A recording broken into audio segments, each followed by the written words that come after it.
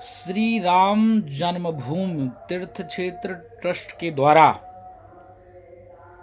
यह घोषणा की गई कि दशरथ मेडिकल कॉलेज यहाँ जो अयोध्या में है, उसमें एक ऑक्सीजन प्लांट लगाने की घोषणा की है। जो 55 लाख की लागत से वह प्लांट लगेगा।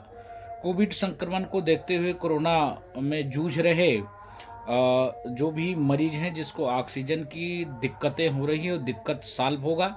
साधुवाद है ट्रस्ट के पदाधिकारी के, ट्रस्ट के लोगों को, और इससे सीख लें अन्य धर्म, अन्य वर्ग, अन्य संप्रदाय के तमाम ऐसे लोग हैं जो इस समय में लोगों की मदद कर सकते हैं, लोगों के लिए हाथ आगे बढ़ा सकते हैं। ऐसे लोगों से, ऐसे लोगों को इससे सीख लेना चाहिए।